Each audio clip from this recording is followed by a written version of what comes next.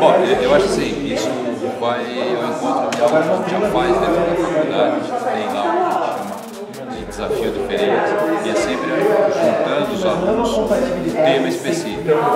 E a ideia de juntar isso com o futebol e, e fazer isso vazar para fora da comunidade, para fora dos muros da faculdade, eu acho bastante interessante. Eu acho que é um projeto bem legal e vai dar frutos. Eu também acredito que essa integração entre as faculdades e dos próprios alunos, é, misturando os períodos também, é sempre positivo. Eu acho bacana você une as duas paixões, né, que é a comunicação com o futebol e essa integração do aluno, professor, e vivenciando um pouco do mercado, uma experiência bacana para eles. Colocar na prática é sempre melhor. Né?